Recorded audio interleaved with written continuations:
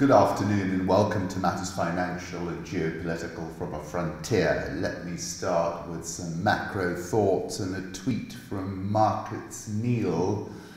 Got to say, this has the appearance of the dollar finally rolling over. We're currently at 97.09 and I think we've got further to fall to around the 94.50 area where there's a lot of buy side support. Home thoughts. This is sunset over the old town of Mombasa, uh, my hometown. That's from Job Artography, and it's a lovely photograph. I've never swum where those folks are swimming because uh, of uh, specific reasons, but uh, they're obviously very brave. Um, and uh, we used to live just around the corner from, from there. Sheikh Latif, the transcription of the Bismillah on Mumtaz Mahal's cenotaph in Agra 1820. That's from William Dalrymple. The Messier 87 Galaxy April 10. It might look just a lopsided ring of light, but look closer and you'll see a one way portal to eternity, the first ever image of a black hole. Um, Event Horizon Telescope collaboration, I like that, a one way portal to eternity. The Sahara, Morocco, April 7 runners neared the finish line in day one of the six day Marathon des Sables, one of the world's most punishing races, Ryan Christopher Jones for the New York Times. I came across a spectacular article in The Spectator, A River of Lost Souls, the extraordinary secrets of the Thames.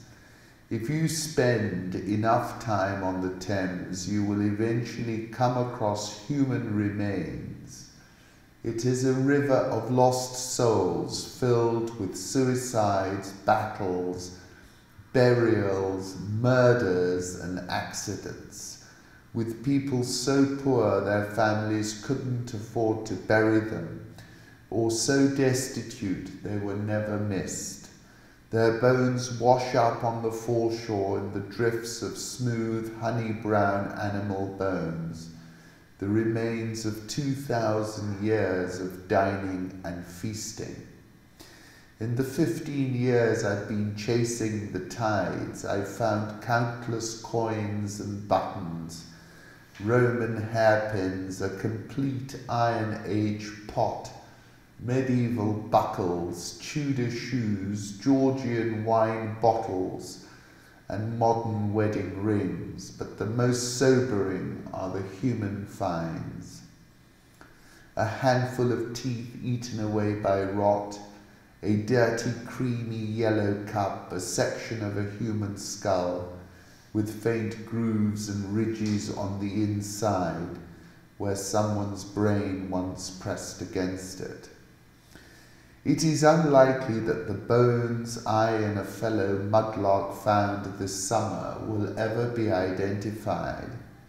We were close to the estuary and had just dropped off the shoreline to begin our trudge across miles of sticky grey mud when my friend saw the skull resting upside down in a shallow dip.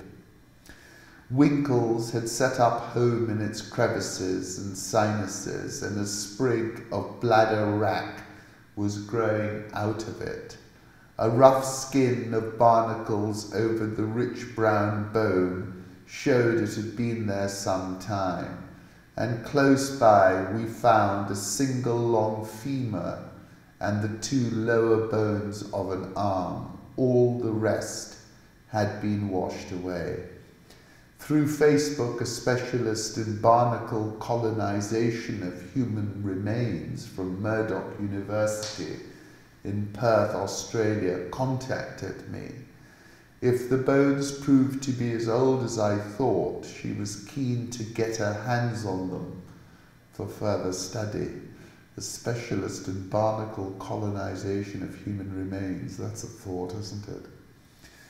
Um, and then the same, same lady, London mudlark, up with the lark today to catch the morning tide. Pickings were slim, but worth getting out of bed just for the sunrise. I lived in Putney, not far from the river. Laikipia, Kenya, this is Truth Slinger. It is a wonderful place to visit.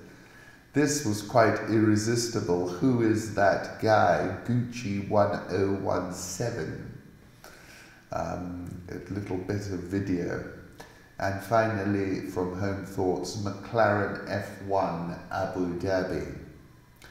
Political reflections those who are close to the people who wield power will never speak the truth to them.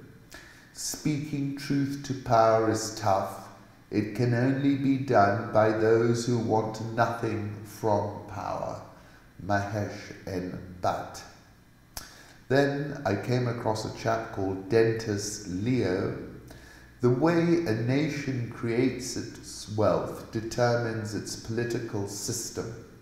In places where natural resources are the main source of wealth, violence is necessary. These places run on a zero sum game and thus no reason to cooperate.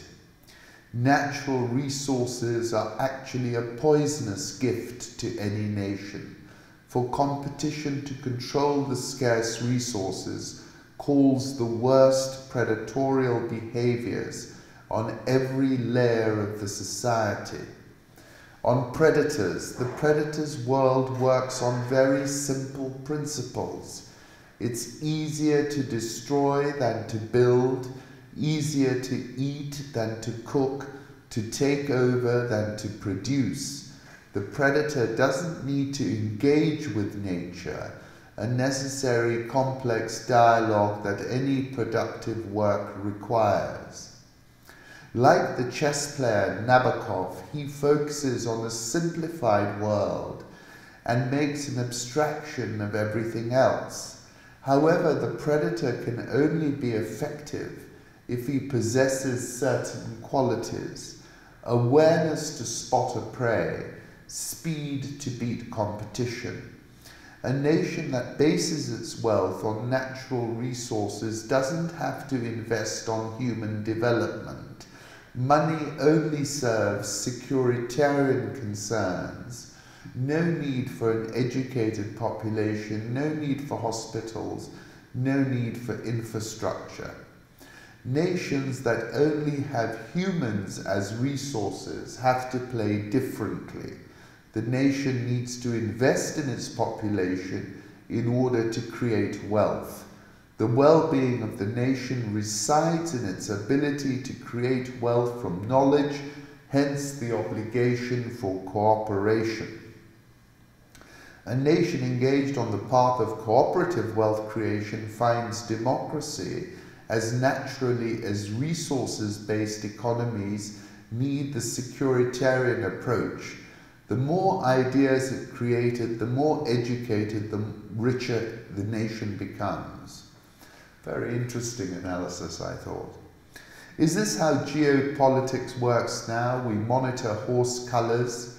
Kate Martin asks. Kim Jong un rides a white horse again, signalling a more confrontational stance with the international community. And that, of course, his horse is at the Mount Paektu, and I've written about the Mount Paektu bloodline and also about the fact um, that. Uh, uh, you know, their, their cinema is of the highest level, which is no surprise when you consider that Kim Jong-il, the father, was obsessed with cinema and amassed arguably the world's largest personal film collection, over 20,000 bootlegged 35mm screening copies. Kim Jong-il also had a penchant for Hennessy Paradis cognac, and for two years in the mid-1990s he was the world's largest buyer of Hennessy Paradis cognac importing up to $800,000 of the stuff a year. Kim Jong il began his career as the head of the state's propaganda and agitation department, and it's clear that Kim Jong un's sister, Kim Yo Jong, holds the same role and evidently handles all the optics is a chip off the old block. I don't know what happened at Jamia last night. We must be wary of jihadists, Maoists, separatists getting into student protests. That's the finance minister Nirmala Sitharaman. Um, talking about these events in India where the students have started to revolt against the politics of ethnocratic nationalism. The Chinese Navy is building an incredible number of warships. This is covert shores, whilst the US Navy launches a handful of Aegis destroyers each year. The single image below of a Shanghai shipyard shows nine newly constructed Chinese warships. Uh, the image paints an interesting picture of Chinese naval modernization Yet the biggest takeaway is that this shipyard is not alone. There are many yards across China which are similarly impressive. The Chinese Navy of today and the future is changed beyond all recognition from the Chinese Navy of the past. The world naval balance is shifting. I wrote about China turning 70 on the 7th of October, and I was quoting Don DeLillo longing on a large scale makes history. I went back to the hollow men. This is the way the world ends. This is the way the world ends. This is the way the world ends. Not with a bang, but a whimper. Humans could generate 3.4 billion tons of solid waste by 2050. And Bloomberg is suggesting how countries can prevent a trash apocalypse. Villa del Rosario, Colombia, February 23rd. Protesters on the Simon Bolivar Bridge linking Venezuela and Colombia. This is from a series of photographs of the year from the New York Times. Skirmishes erupted after foreign aid trucks were blocked by armed loyalists of President Nicolas Maduro. That was Meredith Kohut for the New York Times, and I wrote about this new economy of anger Venezuela, where the GDP is down from $350 billion in 2012 to an estimated 60 billion in 2019. And I said people have been pushed to the edge and are taking to the streets. And I quoted Virilio, the revolutionary contingent attains its ideal form not in the place of production but in the street, where for a moment it stops being a cog in the technical machine and itself becomes a motor machine of attack, in other words, a producer of speed. And this is Colombia, February 4. Venezuelan migrants crowded onto a truck as it crossed the Colombian mountains. The economic crisis in Venezuela has set off a staggering exodus. That's Federico Rios Escobar, again for the New York Times. Santiago, Chile, October 29, a burning barricade marked the end of a long day of unrest in the capital. Protests that began over a subway fare rise spiraled into violent clashes between security forces and demonstrators. That's Thomas Minuti, Munita for the New York Times again, going back to that article, The New Economy of Anger, I said the phenomenon is spreading like wildfire, in large part because of the tinder dry conditions underfoot. And I said prolonged standoffs eviscerate economies, reducing opportunities and accelerate the negative feedback loop. Let's turn to currency markets. Euro dollar 111.45, dollar index 97.10, Japanese yen 109.55, Swiss franc 0.9830, the pound coming off the boil 132.56, the Australian dollar 0.6861, uh, India rupee 70.9728, South Korean won 1166.06. The Rial has strengthened 40635, Egyptian pound has strengthened 160508, and the Rand at 14.3859, piercing key resistance at 1450 in what is, I believe, an important breakthrough on the chart. Euro dollar, this is from Rich Frontiers, currently at 111.45. um, beginning to strengthen. Sterling dropped after two days of gains following reports that the UK Prime Minister Boris Johnson will change the law to guarantee the Brexit transition phase isn't extended beyond the end of 2020. Interesting piece in the market here Netflix cash content spend from Bernstein. Most people think you can't grow subs without spending a lot more on programs and films. If you look at the second chart below, you can see that we disagree. A $20 billion annual spend, they can release a new complete series every day, even taking into account foreign language material and a percentage of duds. This feels like enough.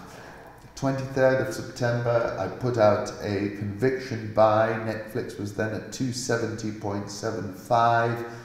I quoted uh, annals of uh, technology, streaming dreams, that people went from broad to narrow, and we think they will continue to go that way, spend more and more time in the niches, because now the distribution landscape allows for more narrowness. And I was saying there's a blind spot because most of the analysts for Netflix are in the US, but I think it's an international story rather than purely a US story and therefore I remain bullish and I think they've got a great deal more experience in this business than a lot of these Johnny come lately competitors. Apple is up 25.5% since the beginning of October. That's from Northman Trader. My article over the weekend was about Saudi Aramco's 1.96 trillion uh, valuation. It's probably around 2 trillion.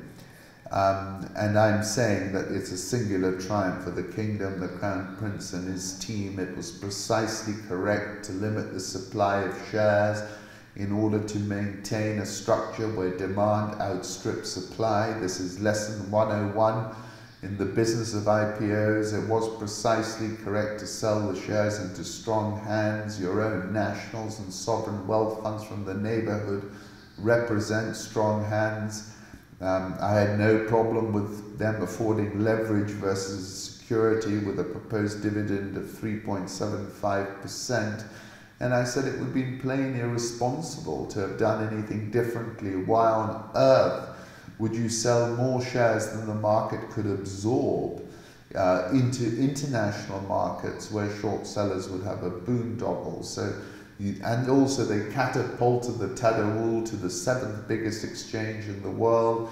They maintained the value additive side of this transaction by forcing people to buy these shares in Riyadh. So all round, uh, I have to agree with Danilo Honorino, who said it's, this is the Ferrari of the oil companies. And if you want to buy this Ferrari, you need to go to Riyadh. And I said that's the final overarching point. Gold, 1478, just shy of that. Crude oil above 60 now at $60.20. Coffee futures climbed nearly 7% on Monday to 1.3895 a pound, the biggest one day surge since 2015. Prices have soared a whopping 38% this year and are at a three year high. There's a panic in the coffee futures market. There's concern that a lot of the farmers who sold their coffee through futures are not going to be able to deliver on the underlying products, which is an interesting outcome. We were in a bear market earlier this year, you will recall. EM currencies are rallying hard against the dollar, powered by the dovish Fed, dovish ECB, and hopes for benign global growth, no recession, Robin Brooks, IIF. Only one outlier to the rally, the Turkish lira, whose underperformance is more noticeable every day. This is a photo from Brazil, September the 8th. A fire reached the Amazon rainforest near the city of Porto Velho. That's Victor Moriyama again from the New York Times. Um, the destruction of the Amazon Brazil has rapidly increased under a new president. 30th of September, I was saying the end is nigh and talking about the feedback loop and the risks of dieback, where we enter a phase of cascading system collapse. Clearly, this is not an ordinary slowdown, it is India's great slowdown where the economy seems headed for the intensive care unit. Subramanian said, this is Asia Times. Indian economy is now experiencing a second wave of the twin balance sheet crisis which is behind what he terms a great slowdown. The first wave of this crisis happened when bank loans extended to steel, power, and infrastructure sector companies during the investment boom of 2004 to 2011 turned bad. The second crisis is largely a post demonetization phenomenon involving non banking financial companies or shadow banks and real estate firms. After high value currency notes were banned, considerable amounts of cash made their way to the banks, who lent a major part of that to shadow banks. They channeled this money into the real estate sector. At the end of June 2019, the total number of unsold houses and flats in the top eight cities was almost 1 million, valued at $113 billion, or the equivalent to about four years of sales. In some ways, this may have been India's version of the US housing bubble, he argues. The current slowdown, they note, is worrisome not only because of GDP growth has slowed to 4.5% in the second quarter of 2019 2020 even more distressing is the disaggregated data. These indicators suggest the economy's illness is severe. This slowdown seems closer to the 1991 balance of payments crisis. Second quarter growth of 4.5% was propped up by a 15.64% increase in government expenditure. If that component is left out from GDP, the, actual, the economy actually grew only 3.05%. As I wrote on the 2nd of December, economic growth has now fallen for six consecutive quarters. The GDP figure is the weakest recorded under Modi, who first swept to power five years ago, promising to take India's economy to new heights and create millions of jobs every year. Have a look at this short clip of Modi on Islamic terrorism and Muslims by Rana Ayub. This is all about the politics of ethnocratic nationalism. Um, few internet outages have lasted as long as the one in Kashmir. It's been more than 100 days and counting. That's Al Jazeera listening post.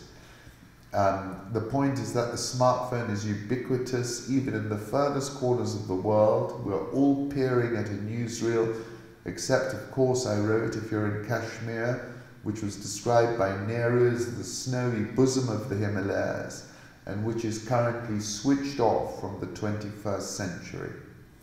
India's Sensex ignored everything and rose to a record. Sub Saharan Africa, music to Putin's ears, Russian forces shoot down US drone, the Pentagon has accused Russian troops of targeting one of its surveillance drones close to the Libyan capital of Tripoli last month. The drone was watching on as a battle for control over the city began to unfold. Libya has become a hive of combat drones in the past year. Cheap Turkish and Chinese made devices are now swarming over the battlefields. Above them loiter larger, more powerful machines controlled by US and French forces. Now, advanced Russian drones have joined the fray. It's created a scenario where General Townsend is not just worried about his drones, he's concerned at the impact fresh Russian forces are having on the civil war.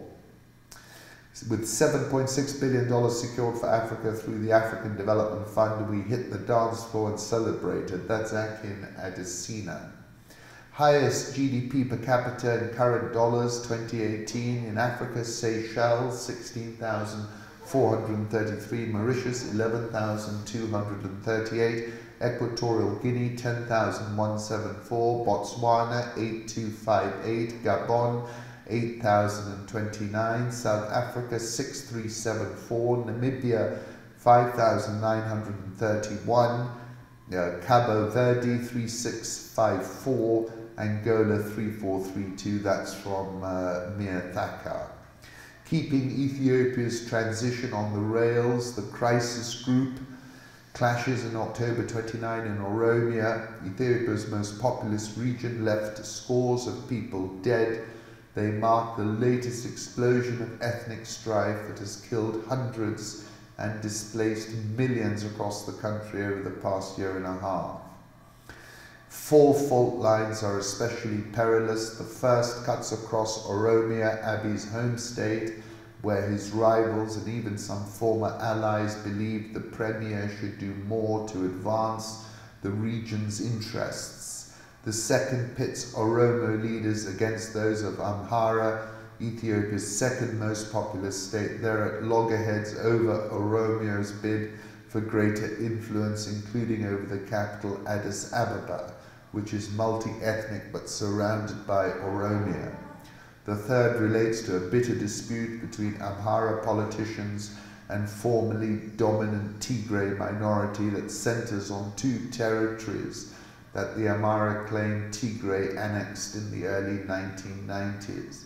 The fourth involves Tigray leaders in Abiy's government, with the former resenting the Prime Minister for what they perceive as his dismantling of a political system they constructed and then dominated, and what they see as his lopsided targeting of Tigrayan leaders for past abuses.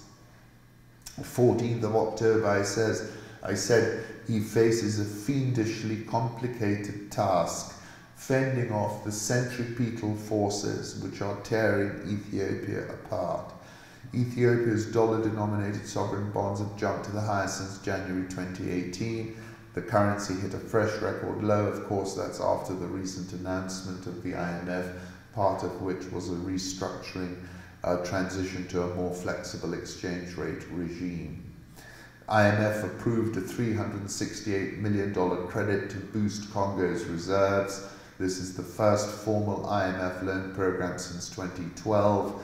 Congo's international reserves have fallen to critically low levels, creating urgent balance of payment needs. Mary Chiwenga is to face a charge of attempted murder. She's the wife of Constantine Chiwenga, the vice president of Zimbabwe. Prosecutors will argue that she tried to kill the vice president Constantino Chiwenga by unplugging life support tubes. You can't make it up. South African all shares up 7.61%, dollar rand at 14.3953, Egyptian pound 16.0049, EGX 30 up 2.83% year to date, Nigerian all share down 15.07% year to date. David Pilling dives into the cocoa industry in the African farmers taking on big chocolate. Dressed in a threadbare skirt and purple t-shirt, she dances to her uplifting lyrics. If you want to buy fine cloth, it is cocoa. If you want a meaningful life, it is cocoa. Farmers have been singing variations of this song about how planting cocoa will make you rich for decades in Ghana the world's largest producer after neighboring Ivory Coast. In the first decades of the 20th century, smallholders in West Africa rushed into cocoa farming as if it were the new gold. Today, between them, Ghana and Ivory Coast produce nearly two thirds of the global supply of cocoa. Uh, the main ingredient in a chocolate industry worth more than $100 billion a year in sales. Like most of the 2 million cocoa farmers in West Africa, she is a smallholder and extremely poor. She owns a tiny forest plot from which she harvests just four bags of cocoa beans a year. At last year's prices, she would have earned about 300 pounds. Ghana supplies about one fifth of all cocoa beans, for which it earns $2 billion a year, less than one fiftieth of the value of the chocolate that is manufactured, branded, and sold. Chocolate is a $100 billion industry and we who produce 65% of the raw material make less than $6 billion from the sweat and toil of our farmers. This is the president of Ghana. US Labor Department found that the number of children working on cocoa farms, some carrying out dangerous tasks such as spraying pesticide, lugging heavy sacks or wielding machetes, have actually gone up to 2.1 million. Ghana and Ivory Coast unilaterally announced a fixed premium of $400 a tonne over the benchmark futures price from October 2020. If you look at OPEC, they're only controlling about 30 to 40% of the global oil supply and they control prices. I'm not sure if that's true. If you have OPEC, we can have COPEC. Um, and then talking about the efforts the likes of Mars, Barry Callebaut, and others are, are, are doing to try and improve livelihoods. Michael Hendricks, a former cocoa executive at commodities trader Archer Daniels Midland, says the attempt by Ghana and Ivory Coast to impose the $400 premium will fail. But campaigners doubt the ability of African governments to influence prices that are determined by traders buying and selling derivative contracts worth some 40 times physical supplies. LID is a bad poker game by people who cannot play poker, he says. He has more radical advice for producers. If they abandon cocoa, prices would go through the roof, grow more food, produce less cocoa, and push up the price. Ghana Stock Exchange is down 10.43% year to date. Namibia's economy is shrinking Inflation is at its lowest in 14 years, but because Namibia pegged its currency to the South African rand, if they cut interest rates, investors would shift funds to South Africa. Maseru Lesotho, this is from Truth Slinger. The new acting CEO, Allan Kilavuka, is currently CEO of Kenya Airways' subsidiary Fly Jambojet, ahead of them appointing a substantive CEO for Kenya Airways. This is Kenya debt to GDP. This is from KSCPOG. You can see the trend. Fitch says the general government debt to GDP ratio will continue increasing through 2022 to 64.8% before easing gradually to 60.5% by 2028. Our projections are less optimistic than those of the government, which sees debt stabilizing in 2020 and falling to 54% by 2024. Uh, general government debt reached 61.3% of GDP at end 2019, they said. They also warned that Kenya spent twice as much as its peers in paying for loans with the government's interest costs at 22.1%. City Hall, for every one shilling raised in the three months to September, two shillings and 13 cents was spent on paying employees. The Nairobi All Share is up 13.63% this year, and the NSE 20 is down 8.81% this year. Thank you for stopping by.